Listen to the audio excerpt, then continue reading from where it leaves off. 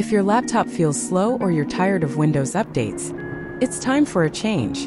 In this video, I'll show you how to install Zorin OS 18 Core, a fast, modern, and beautiful Linux operating system that can bring your old or new PC back to life. You don't need to be a tech expert. I'll guide you step by step. So let's get started. Before we start, here's what you'll need. A USB drive at least 8 gigabytes, a laptop or PC, internet connection, and the Zorin OS 18 Core ISO file, which we will download next. Now, open your favorite web browser and simply type Zorin OS in the search bar. Let's press enter, and here you can see the very first site Zorin.com, which is the official site for our operating system. Click on the website, and you will be guided to a beautiful interface. Let me minimize it for you. Here you can see some description about the Zorin OS and some snapshots representing the latest Zorin OS 18 UI. Below is the About section and a bit more description. The UI seems nice. Let's download the ISO file now. Here you can see the Download Zorin OS option. Simply click it. Now you will be able to see the different versions of the OS. Let's check them out one by one. This one is the Zorin OS 18 Pro, which is the most feature-loaded version currently. Here you have the option to download the ISO file, but you can notice this one isn't free, you have to pay 2,999 rupees for it. Let's check other versions below. This is the Zorin OS 18 Core version. And beside it this one this the Zorin OS 18 Education. Both of these versions are totally free. The core version is the standard free edition for general home use whereas the educational version is recommended for students, schools with educational apps pre-installed. In this video we are going to download the core version. Let's click the download button here to download the ISO file. Here, you will be asked to enter your email but it is not required. You can simply click the skip to download button below. This will automatically start downloading the ISO file. We can see the file now in the download history which is around 3.5 gigabytes. Now let's move on to the next step which is creating bootable USB device. We will use the Rufus software to make our USB bootable. In a new tab, type Rufus download. We will click on to the very first site here.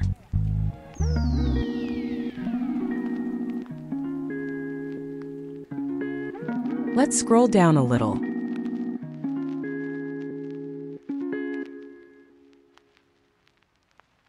Here you have different exe file options to download. We will choose the first one which is the standard Windows x64 file. Click on the file to start download. Let's close this ad and our exe file starts to download. The file is already in our download history. Click on the downloaded exe file and then click yes. You have the Rufus UI in front of you. Here we have the Zorin OS 18 Core ISO file and the Rufus software. I already have my USB device plugged in my PC. Now let's make our USB as a bootable device. You would be able to see your USB drive here. Select the Disk ISO image option here, and then select the downloaded ISO file from its location.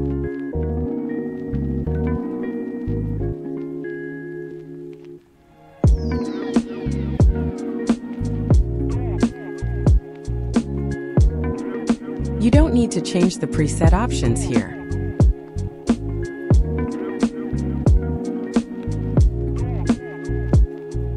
When the process will be completed this ready indicator will turn green. We are all set to go now so let's press the start button. Here in the pop-up section you need to select the write in ISO image mode option which is recommended. Press OK now. It will give some warnings. Simply click Yes. Your USB drive will be formatted now. Click OK. Then click OK. Rufus has now started copying files and creating the bootable device. Let's fast forward the video and skip to the installation. You can see now the ready indicator has turned green which means our bootable device is ready to be used for installation now. Now close the Rufus window and remove your USB device safely. Here I have my 8-year-old Lenovo laptop in which I'm gonna install Zorin OS. You can see I have already inserted my USB device in the USB port. Let's begin with the installation now. Now press the power button to turn on your PC. You can keep pressing the F12 key to select the priority of the external drives. Then move the USB drive to the top in the priority section using F5 or F6. If this doesn't work you can try pressing F2 to open BIOS settings and change boot settings. I already have done these settings to run a smooth installation. Select Try or Install Zorin OS here, or it will automatically select this option. The installation process has began now. Let's fast forward the video and move to the next step. You can pause the video and wait for the current step to be completed.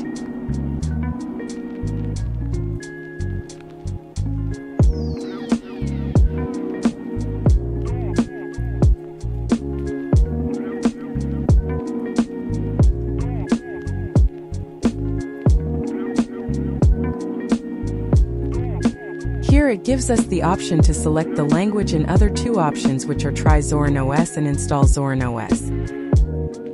I would surely recommend you to choose the first option that is try Zorin OS to give the operating system a try before continuing further installation. We will choose the language as English.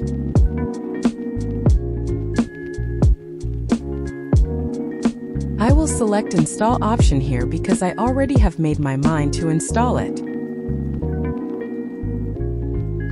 It will then ask some keyboard settings which you can choose according to your preferences.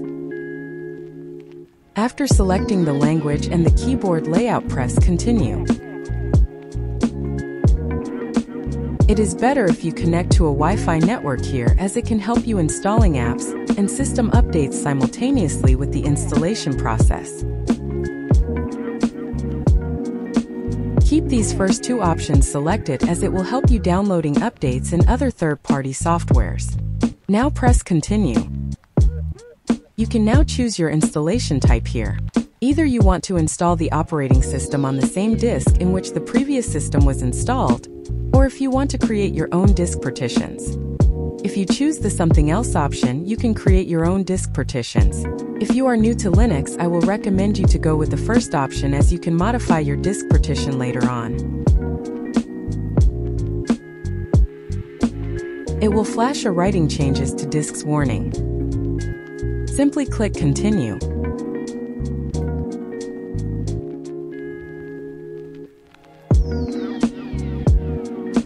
Enter and select your location here. If the default location matches your time zone, you can avoid changing it and can press continue. Then you would have to enter some details such as your name. You can choose your system name. You can then pick a username. Then choose your password and re-enter the password for confirmation. I will now press continue.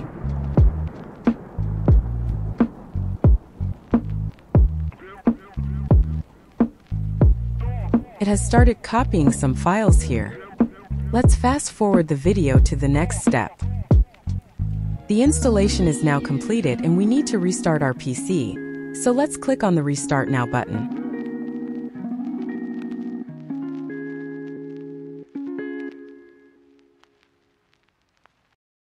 Remove the installation media or the USB device now, and then press Enter.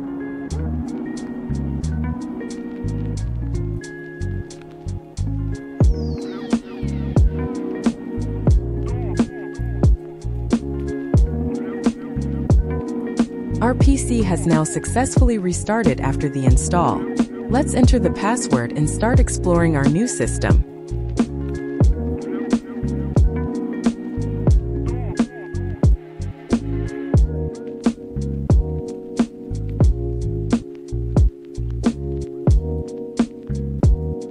Here is a welcome message for you, asking if you want to have a tutorial and discover essential features. I will click No Thanks. Alright, so that was the complete process of installing Zorin OS 18 Core. Now let's talk about my experience after actually using it for a while. Zorin claims that it can revive even a 15-year-old computer, and honestly, that's what made me try it. But in my case, it didn't really live up to that promise. On my laptop, which isn't even that old, it still feels laggy and sluggish, almost the same as Windows. And since the interface isn't as familiar, it sometimes feels even slower to use. So, yeah, if your system already struggles with Windows, Zorin OS 18 Core might not magically fix that.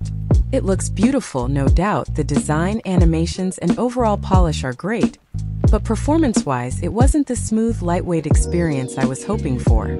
Personally, I'd say, a laggy Windows still feels better than a laggy Linux because at least everything is familiar and works out of the box. But hey, that's just my experience. If you've tried Zorin OS on your system and got different results, let me know in the comments below. I'd love to hear how it worked for you. And if you found this tutorial helpful or you like the honest take, make sure to like, subscribe, and share it with someone who's thinking about trying Linux. Thanks for watching, and I'll see you in the next one.